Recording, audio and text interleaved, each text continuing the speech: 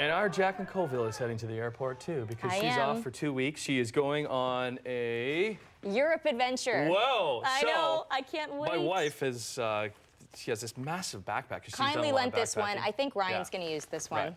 So here's what I'm saying. Right. I'm wondering if I could maybe fit in this, Jack, so then you So I can take you with then me? maybe I could go with you, right? No, Tim, it's it's not going to work. Just gotta take my shoes off. It's not working out. No. No, I'm coming with you, Jack. How heavy is this thing without you in it? You didn't break it, did you? take me with you. All right. we gotta go. I'll see you in two weeks. in a couple weeks, I'll miss you guys. Take me with you. Front page driving news, working on a nine